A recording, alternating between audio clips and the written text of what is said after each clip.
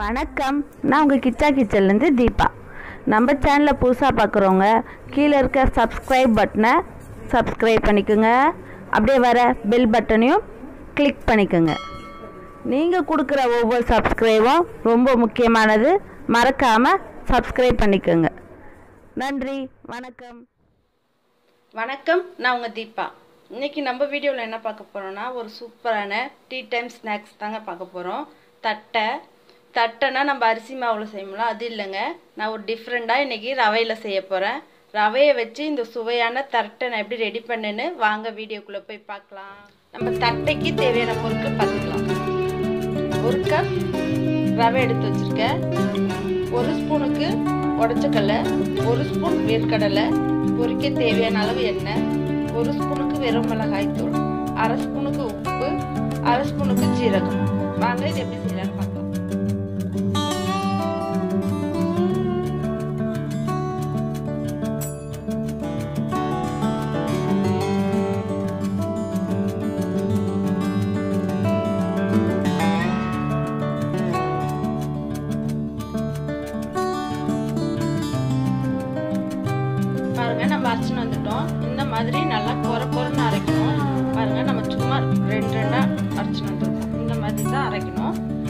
வந்து நம்ம எல்லாத்தையும் கலந்துடலாம். ஒரு ஸ்பூனுக்கு பட்டர் சேர்த்துக்கோங்க. நான் பட்டர் சொல்லலை. பட்டர் சேர்த்துக்கோங்க ஒரு ஸ்பூனுக்கு. ஒரு ஸ்பூன் மிளகாய் தூள் அரை ஸ்பூன் உப்பு அரை ஸ்பூன் ஜீரகம். இதெல்லாம் சேர்த்துக்கலாம். வேர்க்கடலை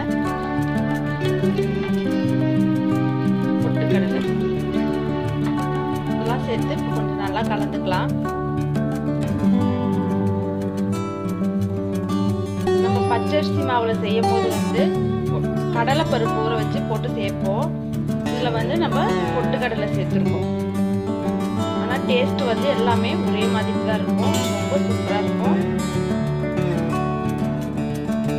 காரத்துக்கு ஏற்ற மாதிரி நீங்கள் மிளகாய் தூள் சேர்த்துக்கோங்க. நான் ஒரு ஸ்பூனுக்கு மிளகாய் தூள் சேர்த்துருக்கேன். கம்மியாக வேணாலும் குறைச்சிக்கலாம் அதிகமாக வேணாலும் சேர்த்துக்கலாம்.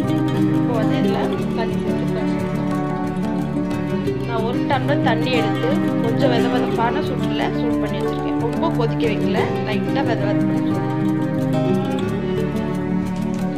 நம்ம வெந்நீர் எதுக்கு சேர்க்குறோம்னா நல்லா சாஃப்டாக வரும்.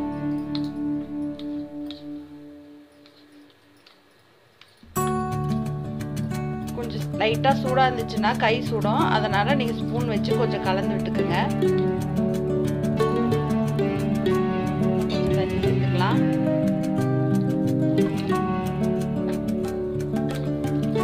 ரொம்ப டைட்டாக இருக்க வேணாம் மாவு கொஞ்சம் லைட்டாக லூஸாக இருந்தால் போதும். ஏன்னா நம்ம ரவை சேர்த்துருக்கனால கொஞ்ச நேரம் கழிச்சு அப்படியே இழுத்துக்கும் தண்ணி ரவை.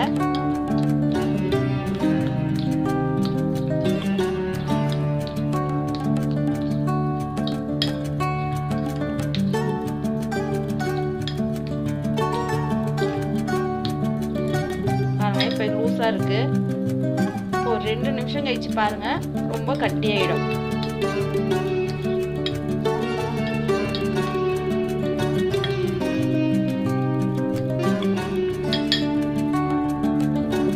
அவ்வளோதான் ரெடி ஆயிடுச்சு.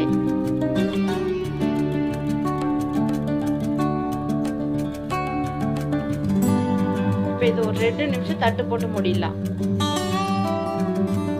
ஒரு ரெண்டு நிமிஷம் ஆயிடுச்சு பாருங்க. பாருங்க நம்ம மாவு பேசும் போது லூஸாக இருந்துச்சு. பாருங்கள் பாருங்க நல்லா டைட்டாக வந்துச்சு. இதான் கரெக்டான பதம். இப்போ வந்து ஒரு சின்ன சின்ன உருண்டையாக நம்ம உருண்டை பண்ணிக்கலாம்.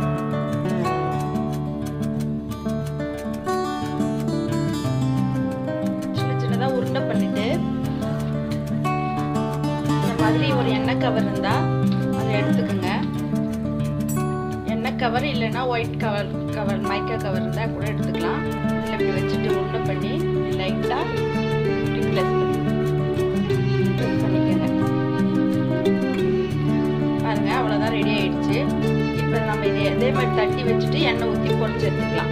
நீங்கள் இப்படியே தட்டிக்கலாம் இல்லைன்னா ஒரு கப்போ ஏதோ வச்சு கூட நீங்கள் ப்ரெஸ் பண்ணிக்கலாம். கையிலேயே கூட நல்லா ப்ரெஸ் பண்ணலாம். பாருங்க. ரொம்ப மெலிசாவும் வேணாம் ரொம்ப கனவும் வேணாம். மீடியமாக சைஸ் இதே மாதிரி நம்ம எல்லாத்தையும் திரட்டி போட்டு அடுப்பத்தை வச்சு ஒரு பேன் வச்சுக்கோங்க அந்த பேனில் வந்து எண்ணெய் கொஞ்சம் பொரிக்கிற அளவுக்கு எண்ணெய் ஊற்றிக்கோங்க எண்ணெய் நல்லா சூடாயிடுச்சு. இப்போ வந்து நம்ம தட்டி வச்சுருக்கிறத ஒன்று ஒன்றா போட்டு இருந்தால் எடுத்துக்கலாம் பார்த்து பொறுமையாக போட்டுக்கோங்க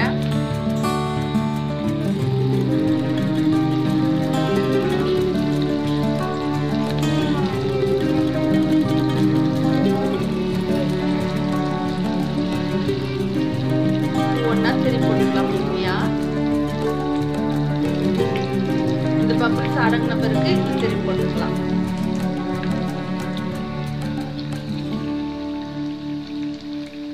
பாருங்க பார்க்க எவ்வளோ சூப்பராக வந்திருக்கு. நம்ம அரிசி மாவில் செய்கிற தட்டை போலியே இருக்கும். இந்த சைடும் திருப்பி போட்டுக்கலாம். அந்த இந்த பப்பிள்ஸ் எல்லாம் அடங்கிடுச்சு இப்போ இதை எடுத்துடலாம்.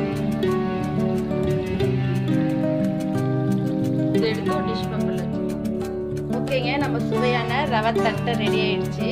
ரொம்ப ஈஸியாக ரெடி பண்ணிடலாம். இது வந்து பத்து நிமிஷம் தான் ஆகும்.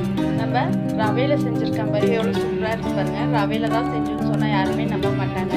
நம்ம அரிசி மாவில் செய்யறதோட இந்த ரவையில் ரொம்ப ஈஸியாக செஞ்சிடலாம். அரிசி மாவுலனா கொஞ்சம் டைம் எடுக்கும். அரிசி ஊற வச்சு அரைச்சி அதை செய்யறதுக்கு கொஞ்சம் டைம் எடுக்கும். இது ரொம்ப ஈஸியாக நம்ம டீ போட்டுக்கினே இதை டக்குன்னு ரெடி பண்ணி கொடுத்துடலாம்.